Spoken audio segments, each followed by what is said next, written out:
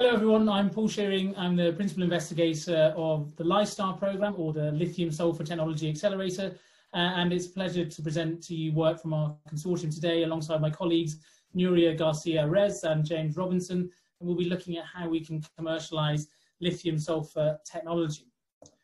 So firstly, just a brief introduction to the LISTAR or Lithium Sulfur Technology Accelerator Programme.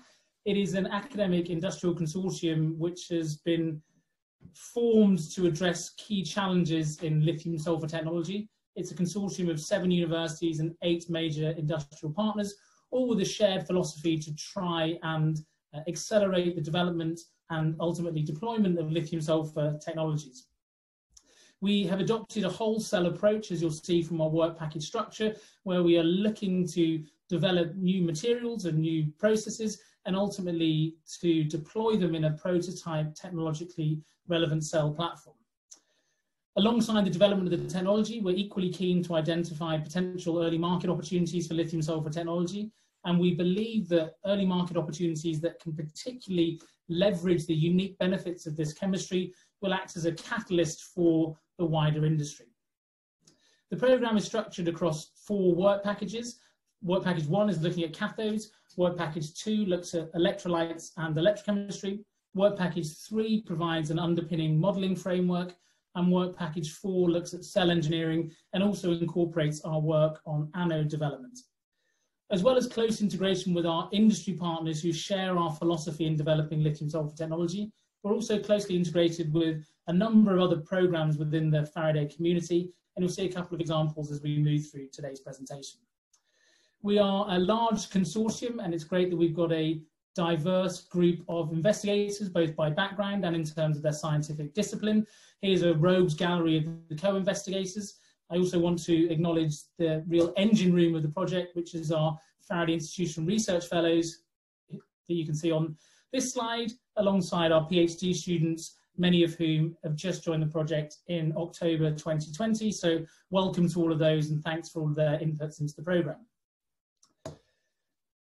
A brief introduction to lithium sulfur technology, and for those of you who are really interested, you might also like to look for our Faraday Insights paper that was published by the Faraday Institution in July this year, which goes into a lot more detail about the key benefits of lithium sulfur technology. With lithium ion batteries, we've come to a point where we're close to the inherent limits of the technology in terms of their gravimetric and volumetric energy densities.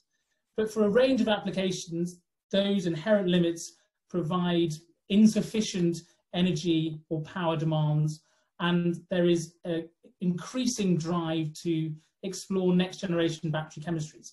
And of course, there's a range of possibilities, but many of these solutions are quite some way away. And of the portfolio of next generation battery chemistries that are available, lithium sulfur is comparably mature.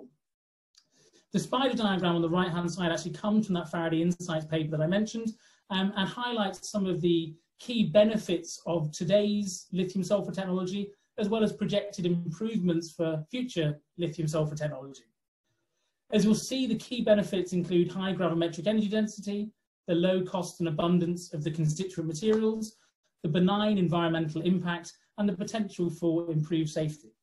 You'll see that with current generation of lithium sulfur technologies indicated in orange, there are already some metrics, for example, gravimetric energy density, where lithium sulfur cells outperform lithium ion. But with the projections that we're making for improvements within the lithium sulfur technology accelerator, as well as in the community more generally, we are increasingly excited to see the benefits realized in terms of improvements to cost, safety, and environmental impact as well. But lithium sulfur is not a chemistry without challenges. So what are the challenges in some of the lithium sulfur technologies that we're exploring? Well, first of all, the sulfur reduction process takes place in multiple steps and is really some very complex electrochemistry. Unlike conventional lithium ion battery electrodes, the charge and discharge process actually involves phase changes from the solid to the liquid and back to the solid phase. And that in itself presents some key challenges associated with loss of inventory and the polysulfide shuttle effect, which can ultimately lead to limitations in the capacity and the cycle life of a lithium sulfur cell. In conjunction, this, we, in conjunction with this, we also have to deal with the extremely low electrical conductivity of sulfur, the large volume expansion as the discharge products change during charge and discharge, the requirement for a relatively large volume of electrolyte, and the relatively slow kinetics of some of these processes. And so there is a rich set of scientific and engineering challenges that we're hoping to tackle across the LISTAR program, both in our university labs and in partnership with our industrial collaborators. In targeting a commercial cell, there are some key things that we need to consider. As I've mentioned, we are adopting a whole cell approach to target improved lifetime and improved rates. In other words, we're not just focusing on one specific component within the cell, we're trying to develop them all in concert and ultimately to demonstrate a prototype cell within the program. We have a focus on reducing the required excess in the anode and the electrolyte to make these as high performing cells and as cost competitive as possible. Um, and we are also uh, cognizant of the economies of scale that will come into place uh, when the technology is sufficiently matured.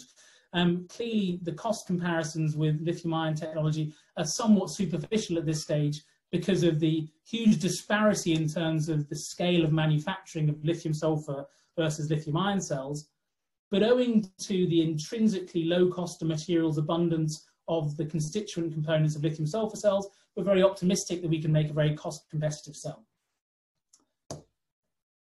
As we'll go on to talk about when we consider our scientific roadmap, um, we are key to match make lithium sulfur technology with early market opportunities that can best leverage the key benefits of lithium sulfur technology.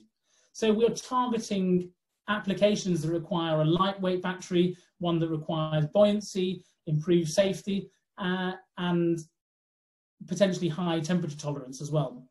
So early market opportunities that map onto these intrinsic characteristics of the lithium sulfur cell include heavy goods vehicles, personal power packs, marine applications, and I think perhaps most importantly, aerospace and satellite applications. We believe that the initial deployment of cells within these applications, which may be relatively niche, will improve the economies of scale to catalyze the wider industry. Next, I want to move on to think about some of the scientific case studies from within the LISTAR program. And firstly, I want to capture some work that we've undertaken at UCL to understand the impact of the synthesis and materials processing pathways on the ultimate performance of composite sulfur carbon electrodes that go into uh, lithium sulfur cells. And for those of you who are interested, you can see the citation to the Journal of Power Sources article that describes this work in significant detail.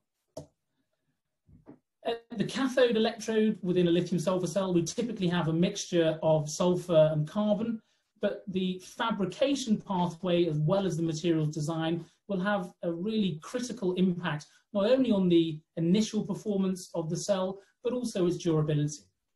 By the application of some advanced materials characterization and electrochemical characterization tools, we have a toolbox to evaluate the materials and the synthesis and processing routes.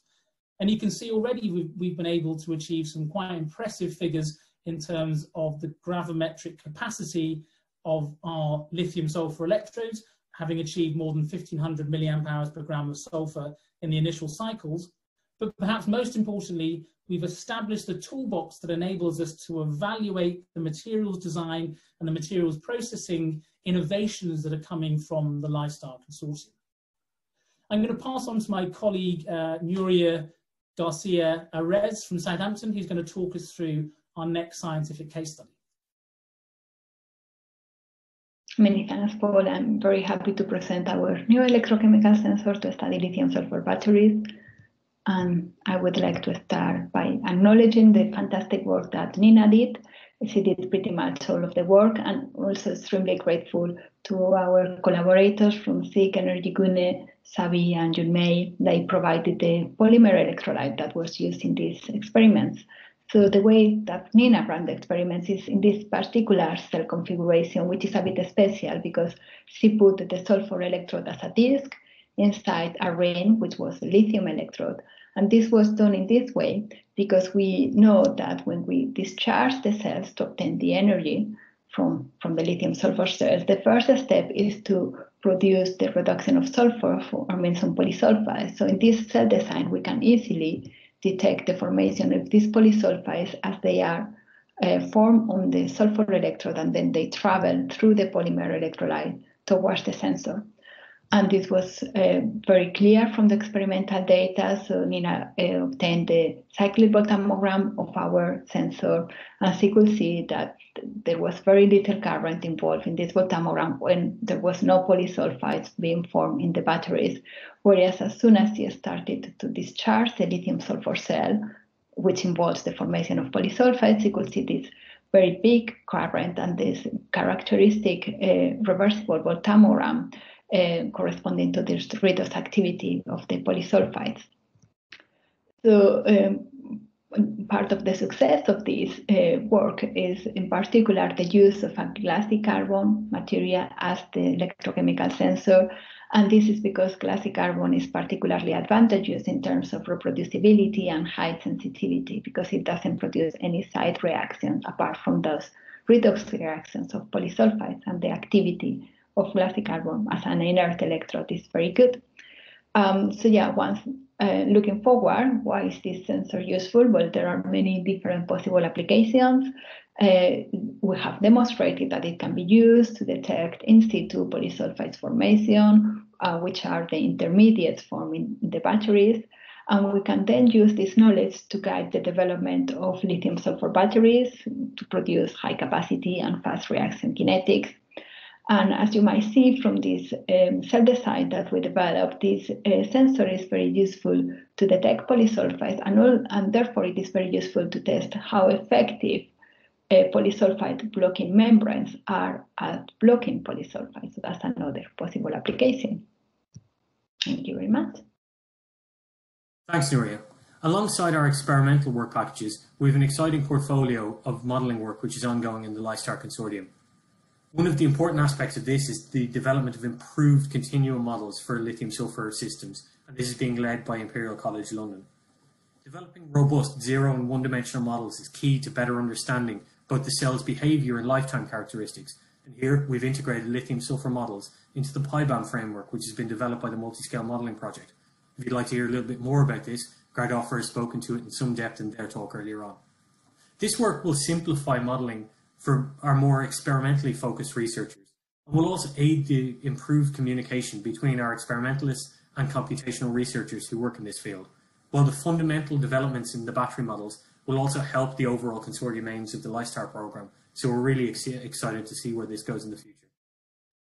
As Paul highlighted previously, we've outlined a series of ambitious targets to improve the commercial prospects of lithium sulfur technology. Initially, these focus on improving the cell cycle life and the rate performance, However, we're really interested in improving specific aspects of the cells, including the volumetric energy density and better understanding the performance at extremes like low or high temperatures. Ultimately, we want to be able to demonstrate the consortium's development in a technologically relevant platform, and that's a key aspect of the LISTAR, of the program. To aid the commercialization and accelerate the development of lithium sulfur, we've been guided not only by our own consortium's collective experience, but by our industrial partners and the existing literature. What you can see here is an outline of the sort of development process which will be required for our work, and this was outlined in 2018 by Tom Cleaver and some of the other LISTAR co-investigators.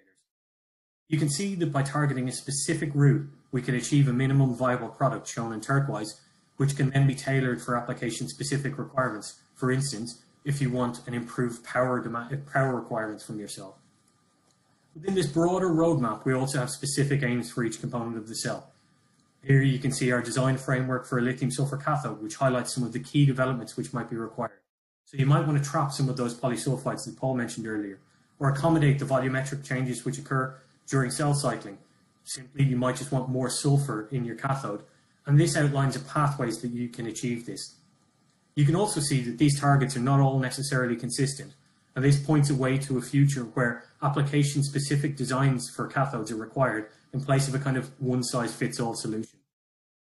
However, in any system, there are a number of optimization requirements which, which are required, and lithium sulfur is no different. What you can see here is some of the work we've undertaken as part of our LISTAR road mapping effort, which will be published in the Journal of Physics Energy soon, and outlines a number of and outlines the impact of a number of these targets on a lithium sulfur cell. So taking D, for instance, you can see the impact of reducing the electrolyte to sulfur loading on our cells. It's not just limited to minimizing our electrolyte volume. We can see that by optimizing our sulfur loading, sulfur content, and sulfur utilization, alongside optimizing the ratio of anode to cathode materials we can use, we can have a really big impact on the specific energy of our cells. And this is entirely consistent with, the, with previous literature. I'd just like to point you in the direction of some of our, uh, our co-investigators and researchers over the next couple of days. So Nuria will be delivering a talk in our cross-cutting three session tomorrow, but I'd really like to encourage you to take some time to have a look at some of the posters developed by our uh, postdoctoral researchers.